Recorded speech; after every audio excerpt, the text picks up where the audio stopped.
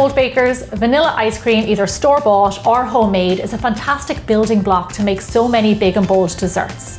Now, with a freezer full of vanilla ice cream and a little bit of creativity, I am going to show you how you can take that plain old flavour and turn it into five-star ice cream sundaes. As always, the recipe can be found on biggerbolderbaking.com and make sure you head over to my website. I've got tons of recipes over there. Okay, let's get started with our first step. I'm very excited about this first flavour. We're going to make a lemon meringue pie sundae. So the first thing we're going to do is flavour our plain ice cream and just make it a really complementary flavour to the rest of our sundae. So into a medium sized bowl, I'm going to add in some softened vanilla ice cream. Now into this, I'm going to add in some lemon curd. And then all you want to do is just mix it really well together. Now this is my recipe for homemade lemon curd. I also have one that you can make in the microwave and that's really good, or you can use store-bought, it's totally up to you. So all our lemon curd is mixed in. I like to see a few streaks in there just to give it a little bit of a different look. Perfect.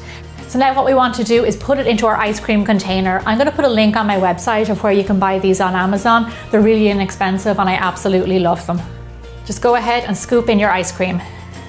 I already know this is going to be a gorgeous ice cream. A little bit of the bitterness from the curd and the creaminess from the ice cream. It's going to be fantastic. So now pop on your lid and all you want to do is pop this guy into the freezer. It'll need around six hours, I'd say, or preferably overnight so it can get nice and hard. So it's been a few hours, our ice cream is frozen, it looks fantastic. So now we can assemble our sundae. So here I have my sundae glass. Now into the bottom of my sundae, I'm going to add in some of my lemon curd. This is the same lemon curd that we used in our ice cream. Our next layer is two generous scoops of our lemon curd ice cream. Because this is lemon meringue pie, we have to have crust in there. So here is a big scoop of cookies. These are my homemade graham crackers, but you can use store-bought. So now our next layer, of course, has got to be meringue. So this is the meringue that I made in my lemon meringue pie cheesecake. It's really easy to make and it is really delicious. It's gonna work really well in this recipe. So just go ahead and pipe a layer of this on top of your cookies. As you can see, we're almost to the top, but I'm gonna add another layer of each. I know by looking at it, you probably think I can't fit anything else on there, but I can and I will. So I'm gonna add a little bit more meringue on top. Gorgeous. And what I'm gonna do is torch them around, to make it look really beautiful. If you don't have a torch, don't worry about it. You can just leave it plain. Fantastic. Check that out. If that's not a sundae, I don't know what is. So now the thing about a sundae is that it has to be enjoyed straight away. And because I'm the only one around here, I'm gonna dig in. Oh my gosh.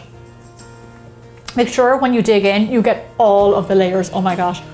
The lemon curd, lemon curd ice cream is out of this world. You could almost eat it by itself.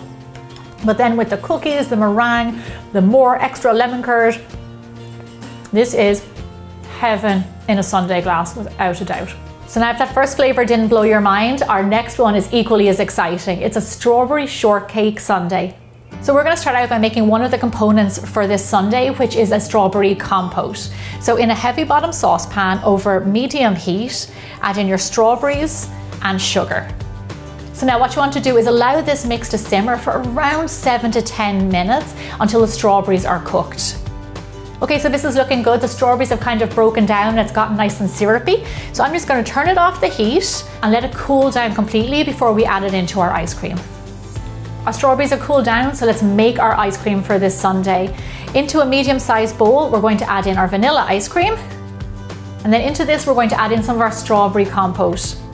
And then followed with a few crushed up cookies. You can use any kind of plain cookie that you like. Now all you want to do is just mix these ingredients together. With the addition of cookies in this ice cream, you get really lovely flavour and texture. And just the combination of the two of them reminds you of strawberry shortcake. Okay, lovely, it's all mixed up. Now we're gonna go into our ice cream tub. Just like before, all the way to the top. And then into the freezer for a minimum of six hours. So it's been a few hours, our strawberry ice cream is ready. Looks gorgeous, what a lovely color. So here I have my sundae glass ready to go, and now we're gonna start to build. So into the bottom of your glass, add a few tablespoons of your strawberry compote. So next we're gonna add in two scoops of our strawberry shortcake ice cream. Followed by a layer of cookies. These are the same cookies that we used in the ice cream.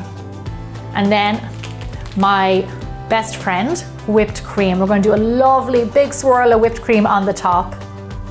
Gorgeous. And then we're just going to build all the layers again. Just do a little bit of each because we're pretty much to the top. These sundaes just keep on looking more and more impressive. I'm just gonna finish this guy off with a lovely fresh strawberry on top. Boop. this looks amazing. I love desserts that have so many different layers. Now, just before the ice cream melts, I'm going to dig in. Oh my gosh. Not only does it have strawberry shortcake, it has a strawberries and cream thing going on which is sweet, it's creamy, and just like I said, you can even enjoy these ice creams by yourselves, or why would you? So usually I save the best for last, but I'm gonna let you be the judge of that, because our next flavor is a banoffee pie sundae. So now the ice cream for this recipe is equally as special because it's going to be a banana ice cream, but not just regular banana ice cream, it is caramelized banana ice cream.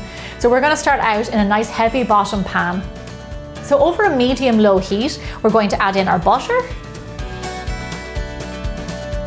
Okay, this is looking good. Now we're going to add in our sugar. Now what we're doing here is creating kind of a caramel in the saucepan to cook our bananas in.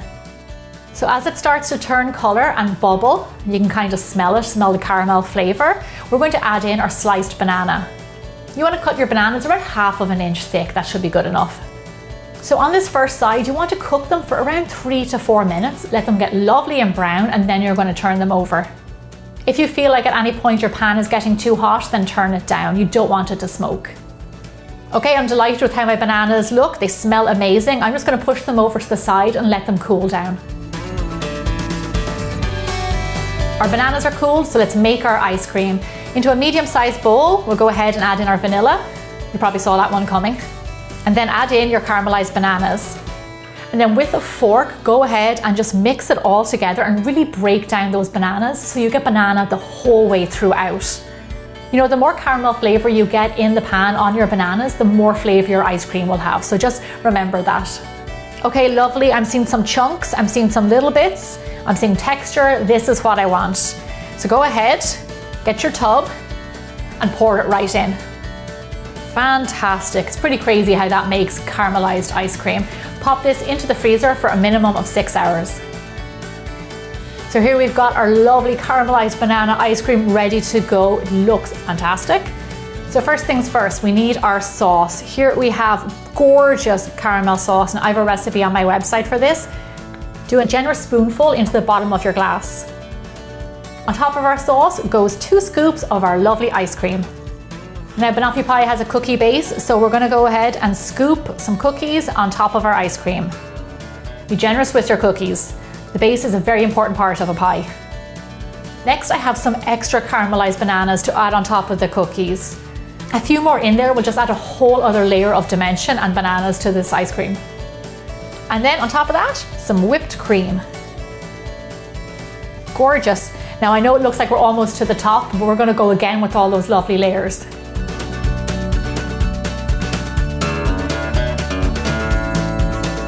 To finish this off, I'm just gonna do some more whipped cream, a little drizzle of caramel sauce because why not, we've come this far. And then I'm just gonna lay on two caramelized bananas. This looks gorgeous. You can tell there's a lot of rich stuff going on in there. My gosh.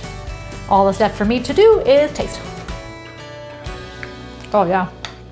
Number one, I'm a huge caramelized banana fan. You've got the cookies in there, you've got caramelized bananas, got this amazing ice cream that we made in no time at all, really simple.